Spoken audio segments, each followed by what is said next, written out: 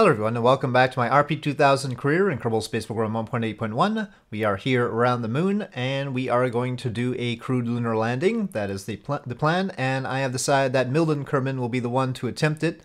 Uh, they both have the same number of stars, so the same capabilities. And we'll use ship manifest to transfer Milden over.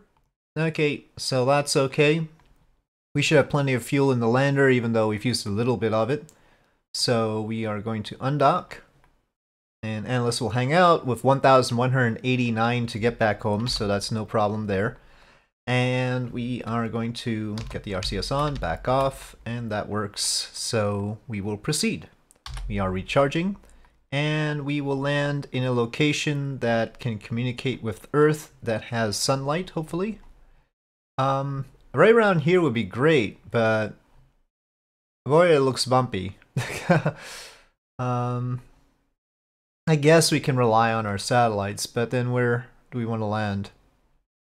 That spot is always tempting on the far side. Maybe inside this crater. Maybe. Or that crater. We can certainly communicate from over here, so let's see. Let's line up the orbit. Let's use MechJeb for a reference. I don't know if aiming for a crater is the best idea or not, but Probably not. Big target on the map. Lowlands. It's not even a special crater. Oh. But maybe it'll be nice and flat at the bottom, right? Maybe? I'm just worried about slopes, so. Okay. Let's proceed. And here on the opposite side, we'll initialize our descent. Can we do some science out here? Report. Oh, it looks like we can do a crew report. Never did space near the moon, seriously? Well, anyway, we are transmitting that. That should be good enough. Um, it looks like it's a little bit further south than we are right now. But that probably gets us closer to the center of that crater, which is probably for the best. Let's reassess that. Okay, Probably there'll be some deviation once we get there.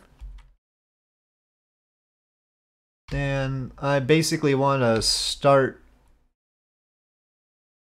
maybe seven minutes ahead of that, given our stage time and delta V. So just hovering over here, that's 12 minutes. Oh, we've uh, hit the lower regions where time warp is restricted. It's nine minutes. Well, that's less than seven minutes, so I guess we should get started. Oh, there's Earth. Sunny. Let's go. And we'll probably initially need some pitch to manage things. Because of the long burn time. It's sure daunting being this close to the surface at this point, but that is a more correct approach. I don't want the suicide burn countdown to go negative. I'll keep it positive. It makes me feel better. Looks like our intended target is a little bit further south, so I'll lean more that way. Got a lot of suicide burn countdown.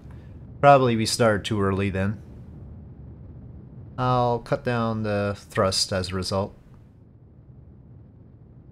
I don't know, maybe the middle of a crater isn't the best idea. But...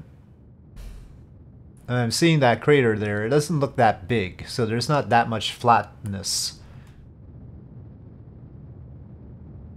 I just don't want to hit the edge, though. I think we'll pop over here if we can, but I don't know if we can slow down in time.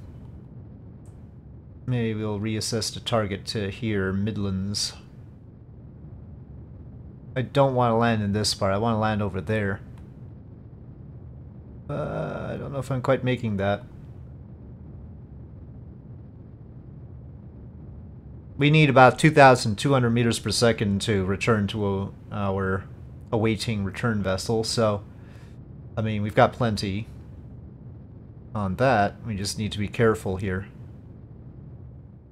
I hope this is as nice a landing spot as I think it is. oh.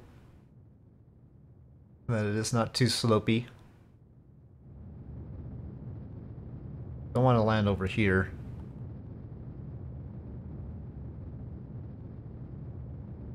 I'll land more over here if possible.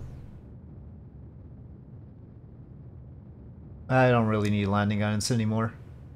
Yeah, see that that looks like a slopey place. I don't know, it's tough to tell, but I feel like this is the flatter part and everything else is sort of sloping down into it, you see. So down here would be nice. Okay, throttling down. We're we're really sort of just right above the this thing.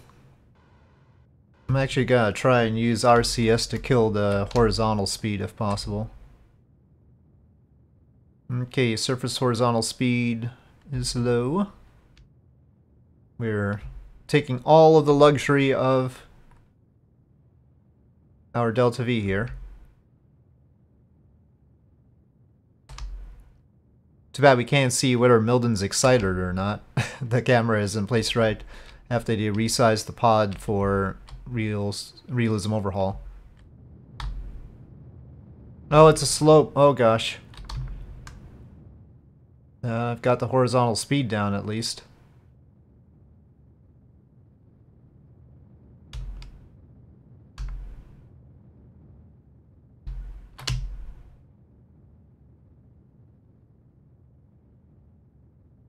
Trying to make this as soft as possible.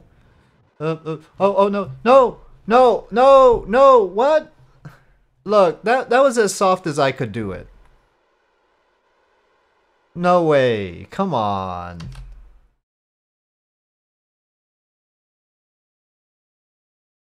I object. I object. There's no way. That's not right. That's not right. that was nice. It was the surface horizontal speed was very low. This slope is not too bad. I mean, we've got plenty of mass down here. It's not the pod should not be that much mass compared to the tank.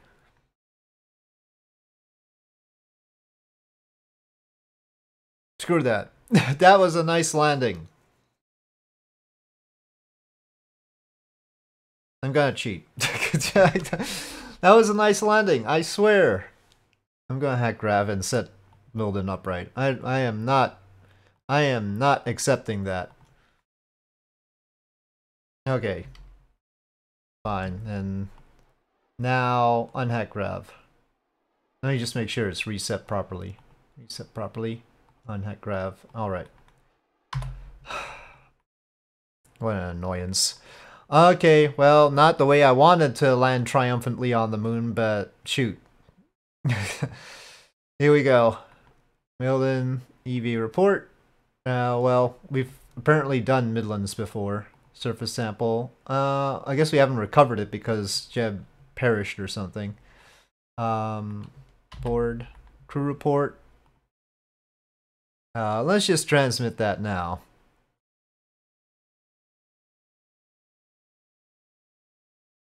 Okay, we can't really plant a flag with Milden, and maybe it's safer not to have Milden actually touch the surface, but alright. I mean, because we can get the surface sample without actually coming down off the ladder. Okay, landed, definitely landed. Okay. And yes, we don't have a flag, and we've already got that. Can't get more of that. Alright. And the RCS alone, the jetpack alone is not good enough for the moon. Uh, ah. this is just going wonderfully.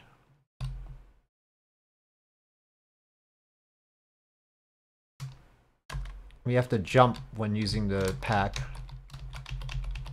Okay, well now we're down one solar panel. I'm sure that won't unbalance anything. I don't think it will, actually. Um, let us target our return vessel. Let's wait until it's right behind us. We don't want to wait too long, though. The electric charge is running out. Okay, that should be good enough. Oh, we wiggled. Oh, there's just so much wiggliness on the moon, darn it. Okay, so we want to be going in this direction. I I would like a heading for it, but I guess we can figure it out. Uh, two, 250, I guess. I mean, basically, with the way we're pointing right now, will be fine. Okay, SAS on, and ignition.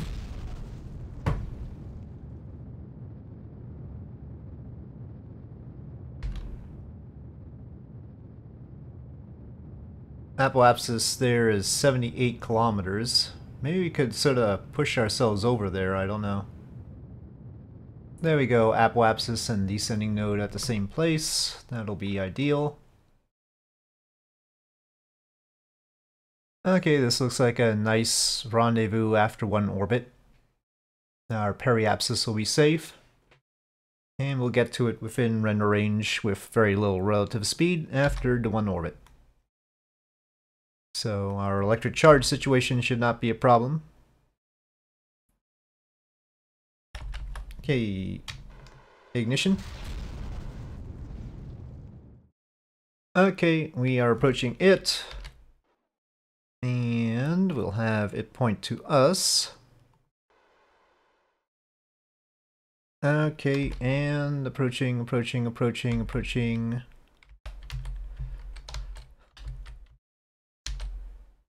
And we are docked. Okay, let us transfer Milden over. Let's just not talk about the details. well, let's, uh, I guess we can transfer this science. Uh, I think that happened. Okay. And we will transfer Milden. Okay.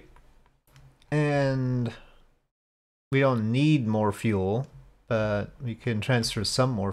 I go. I guess we can't transfer fuel like that. All right. Undock. Milden is on this side. This side has enough delta V to come back.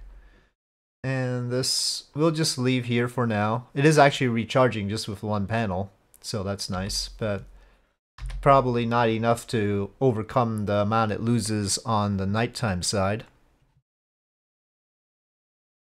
So we will plot for return. Okay, that will do the trick. All right.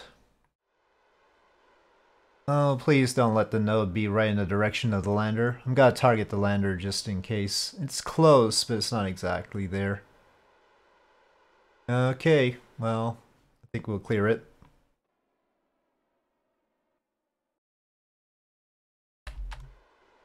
Okay, settling fuel down, just in case.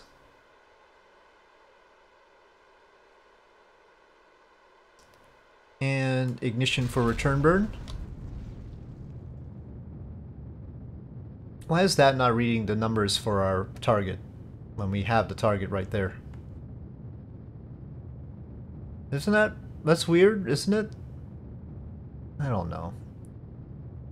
I should have the target information, right? Distance to target and everything. Sometimes, I tell you. No idea what's going on. Okay, the burn is concluding, and let's just make sure we get the periapsis that we want. And let's just shut down there. And a little bit of RCS. We'll say 60. If we bounce up, I won't be too mad. Okay, on we go. Back home. Oh, there's Earth. We're a little bit higher up than I wanted, so let me just make a quick correction here. Okay, activating the pod's RCS finally. And, well, we're not going to get much more sunlight than that, so let us get rid of the service module. Alright, separation.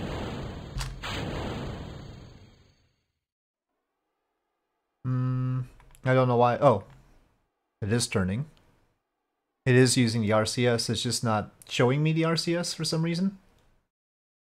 Hmm. It's not showing me the RCS plumes. But it's using it. Don't know why. I don't know the rules anymore. Don't know why it's doing what it does. We're still not using descent mode here. We are in the atmosphere now. And the service module exploded. Okay, we've got some overheating though. But I guess there are limits anyway. This is not intended to be a, like, return pod from Jupiter or something, so... Well, I think I have enough time to try and take care of the two Mars surface probes. So after this we'll see about those. I think it's coming straight down. Yep, it's been a long re-entry, but at least it's just a single go. And actually, G-force is not too bad, so far 5 Gs. But it's going up right now. Overall, pretty good though. We have got to be in Australia right now. There's just nothing else over here. we are definitely over Australia. Maybe, maybe Indonesia? I don't know. Because, I mean, it's only 18 degrees south. Uh, okay. arrow cap jettison. That was clean. Okay, nice safe speed, 5.5 meters per second. Oh, it's actually water. It looks green, though. There's definitely land over there. Um, apparently water, folks. Uh, maybe off the north coast of I, I don't know that that that there's definitely a I don't know what we were on. Okay, fine. Once again, I have no idea what's going on. Recover vessel. Uh, uh, recover to VAB. Maybe I should stop recovering this thing to VAB. We might need to stop reusing this thing because we can't even see the RCS anymore. there might be other problems with this now. We may need to build a new one. Okay, but the point is, uh, we got some science, of course, but the main thing is we need to make sure that we actually... I can't believe uh, the Kerbal that went around the moon but didn't land didn't get any extra points. Uh, but, oh well. We did finish the contract, right? It seems that way because it's not around here. Somewhere, somewhere around here is the crewed lunar landing. There we go. And we've got money. All right let's just quickly try and deal with the Mars probes. And of course, with the arrival of the Mars probes, we will have fulfilled the three critical contracts that we had. If they actually land safely, of course. And comms will be a major part of that. Uh, well, maybe just enough gap between the two uh, this isn't communicating anymore. I thought we saw communication lines just a second ago. Got power.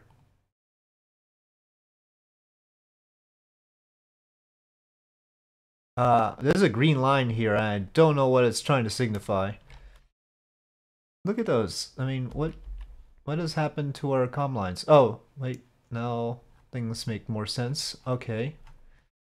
I don't know what that one is. This one is communicating with something around Mars, but apparently that thing around Mars is not communicating back home. But this was supposed to be able to communicate back home all the way, but I guess it's not good enough. Let's see if we get closer to Mars if we pick something up. Oh, power. Well, this was supposed to be oriented properly in the first place, so I don't mind doing that whatever that is, and that's communicating back. But maybe that's not a relay satellite. Earth is all the way over there. Is a problem.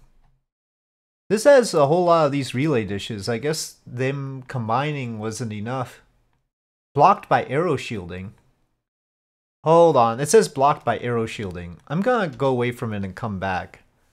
And see if we can unblock it from aero shielding. Because it shouldn't be blocked by aero shielding. Maybe the stupid heat shield is in the way somehow. I don't know how that works. No, still no comms. Still blocked by aero shielding. I don't suppose the input locks is a issue. Well, that's probably the mistake right there. I assume that the situation is the same with the other one. Let's see. Yep, same situation. Same blocked by aero shielding relay antennae right there. I'm gonna leave this right here just in case we can come up with a solution for it. So they're coming in, we can't communicate with them, and I believe it's because of this blocked by aero shielding thing. Uh, if there are any thoughts about how to solve this, I will be glad to hear them, and I will not proceed with these uh, because maybe we'll come up with something. But yeah, it looks like we're going to fail our Mars landing, little probe landing mission because there's no way we're going to get another bunch off in time since the contract is up in 320 days. So let's just see what the stakes are. How much do we stand to lose if we fail these? Hmm, 1.5 million. I mean, it's not gonna kill us, but it's going to hurt us. so uh, yep, if you guys have any idea about how to solve the block by aero shielding problem, maybe. I don't know if that'll guarantee us communications, but it'd be a start.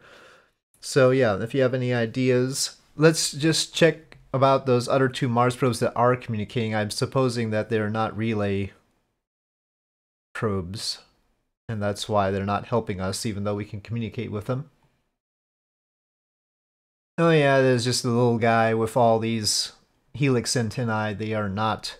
They have great range, but they are definitely not relay antennae. They, it does have two relay antennae, but I guess the combinable only operates for those two independently. It, uh, when it's relaying, it can't use these guys. But yeah, so it doesn't have the relay range to Earth. Well, all very complicated. Anyway, so the other one is probably the same sort of deal. So with that, thank you for watching. I hope you enjoyed this video. If you did, please do press like. If you have any comments or suggestions, please leave them in the comment section below. And I'll see you next time.